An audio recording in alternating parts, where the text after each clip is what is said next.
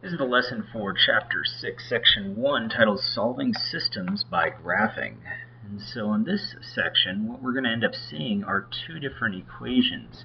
And they're going to ask us to graph them on the same coordinate plane. So oftentimes, we'll end up seeing two systems like that, one, one on top of the other, but they'll typically put a brace around it. And that brace symbolizes that we're going to graph these, these two systems together. And so we're going to put them on the same coordinate plane. And so we have three different ways or three different types of answers we could end up getting. We either have one solution, which is what we'll typically end up getting on the problems that you do tonight, or we might have infinitely many solutions or no solutions. So let's go through which ones mean what. One solution represents where the two lines intersect. And that's what a system is looking for. It's looking for a common value that each have. And so at this point right here, looks like that point is negative 1, positive 1, that is the only point that these two lines share, and that's what we're looking for. And so oftentimes when we solve systems, and later on we'll see some real-world examples where we use systems, that's what we're looking for. We're looking for that optimum point at which the two lines occur at. And so that's what we're mainly going to be looking for. And they have some different vocabulary terms they use here. So this is the lines intersect at one point, which is negative 1, 1 the lines are have different slopes, and that's what we see here, and the equations are consistent and independent. And so just some vocabulary terms that they end up talking about when we have just one solution. Here we have infinitely many. That means we have the same line. So the lines aren't going, the equations aren't going to appear as though they're the same line. But when we go ahead and solve for the y value, or y equals mx plus b, put it in slope-intercept form, we will see that they are the same exact equation. And when one lines up on the other, we say there are infinitely many solutions because all the points that make up this line here, and they're so close that you can't even see them because they're just right next to each other, the, all those points are solutions. And so this is a consistent dependent type of equation. And then we have one that's no solution. And no solution means the lines are parallel, so they'll never intersect. So we won't get that one solution. And since they have different y-intercepts, we'll see that they never are on top of one another where they have infinitely many solutions. So we say there's no solution because they will not cross. And those are called inconsistent equations. So notice that infinitely many when we do have solutions, either infinitely many or one solution. Those are consistent, where a no solution is inconsistent, is not consistent. Notice how when we have one solution, it is independent, and when we have infinitely many, the two lines are dependent upon one another. And so that's some vocabulary we have there. So let's get on to these problems. So first step, I think, is the best way to solve these is to solve for y. So if y is not solved for, I would solve for y. And the reason is, is that way you'll be able to see if we have the same equation and it's much easier to graph because then we can find out what the y-intercept and the slope are. So in this case, we're going to get y by itself, and we'll have ourselves the slope and the y-intercept, and that's what I'm going to look for. So here, the y-intercept is 3, so I'm going up 3 spaces, 1, 2, 3, and then using the slope. So the slope in this case is negative 1 over 1. So it just allows me to plot lots of points, because I want to find out where these lines are crossing. And if I can get a bunch of points plotted, it'll be easier to see where those lines cross, rather than just drawing a line arbitrarily and having to guess where they end up crossing. So that's my line for the first one, and sometimes you can go ahead and just draw the line between them because all those points that make up that line are solutions, even the ones in between the points I have. And when I take a look at this next one, I'm starting down two spaces on the y-axis. So I go down two, that's the y-intercept there, so down two spaces.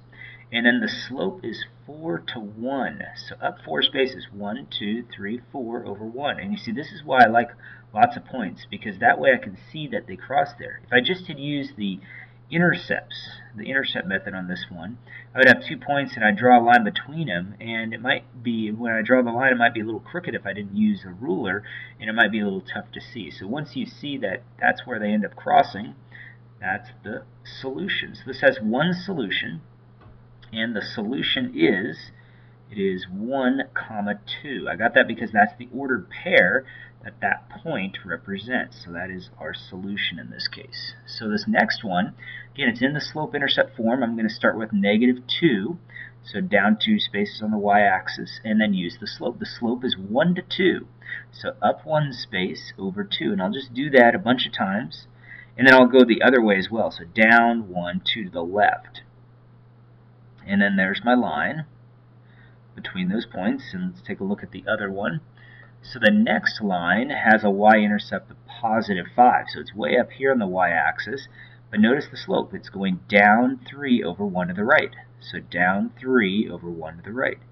Down 3 over 1 to the right. And you see, you get those to cross at that point. And so we'll go ahead and draw the line between those points so you can see it really nice and clearly. But this is the point that I'm looking for. And what is that point? Well, that point is two spaces to the right, one space down. So 2, negative 1, and that's the solution of the system. Again, the system is just the two lines drawn on the same coordinate plane. So looking at this next problem, again, its first equation is in slope-intercept form. Positive 6 is the y-intercept here, and so on my graph, I'll just put 6 up here, knowing that it's just one space above where my last uh, coordinate is, and then I'm going to use the slope. Now, typically I'd go up 3, 2 to the right, but I'm having trouble doing that, so I'm going to go the other way. I'm going to go down 1, 2, 3, 2 to the left. Do that a few times, down 3, 2 to the left, and those are the points I've got. So again, if I don't see where it crosses, maybe they do cross down here, I'd have to draw some other points. And so on this one is not in slope-intercept form, so I'm going to do some work here. I'm going to go ahead and take that equation and solve for y. So this was the original equation. Whenever you want to move something to the other side, like I want to move the x over, notice that I have to do an opposite operation, so it just switches signs. So a real quick method is, okay, knowing that it switches signs, I can just put the x on the other side with the opposite sign. So I'm going to start with the positive 1, that's the y-intercept, and then I'm going to use the slope. Now, typically the slope tells me to go down 1 and then 1 to the right. Now, when I do that, you see I'm not getting to the line, so I need to be able to go the other way. I need to go up 1, 1 to the left, and that's where I'll see those lines cross at that point right there. And so I'll draw the line between them so you can see that. And we'll go ahead and label what that point is. It's two, two spaces to the left, so negative 2, and three spaces up, so positive 3. So that is the solution of the system. The solution is just the point at which they they cross. And the, we can also think of this as the only point in which they share. And so that's why that's the point in common. So these are all one solution problems. They are consistent equations that are independent. So let's take a look at the next two types of problems we'll see. And so here they are. And so we'll see that on this first one, we need to get y by itself. So what I'm going to do is I'm dividing by 2. And divide the entire equation by 2, both sides. So I'm left with y equals 1x, or 1 over 2x minus 1.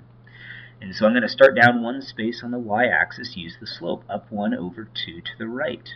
And I'll do that again, go in the other direction as well, down one to the left. You see, there's my line right through those points. And so on this next one, though, I need to do the same sort of thing. I need to divide by 3. Now, it's a little tougher because I have this fraction, so let's take a look at it. Here's where it's nice to understand some principles of math. And so what will be a little bit easier for you to see is if we go ahead, instead of dividing, let's multiply by the reciprocal here. And so when I do that, I'll change the color a little bit. Multiplying by that reciprocal, you can see how the 3's cancel out here. Well, I have to do the same thing with each of these terms. And you see if I show that reciprocal, you can see how the 3's cancel out there and leave me with 1. So I'm left with 1 half x minus 1. See, 3 goes into 3 one time. So I have a similar equation. Actually, I have the same exact equation. If you look at these two equations right here, they are the same exact equation. So this line is going to line up on the other one. See how those points will be exactly the same. I have to go down one on the y-axis, and then I have to use the slope of 1 to 2. So I have a solution in which every point on that line is a solution. And so this is called infinitely, infinitely many many solutions because they are the same because the lines are the same. They are the same line, and so if I graph one line on top of the other, there's going to be infinitely many solutions. And if you look back over here, here we have, again, the same sort of situation, and the slopes are the same, y-intercepts are the same, so we have the same line. They are equations that are consistent and dependent. So let's go back to this next one here, and on this one, we go ahead y is already solved for, so I see that the y-intercept is 3 on this line, and I use the slope. Now the slope on this line is 1 to 1, because the number out in front of x is just 1 when you don't see a number. So I'm going to go up and then to the right, or down to the left. And I'll go ahead and draw a line between those points. Now the next line, notice how that one looks similar. It has the same slope, but the y-intercept is different. It's negative 1. So I'm starting down one space, but notice that I'm using that same slope, so I cannot get those lines to cross. And so those lines are parallel lines. So we've got parallel lines there.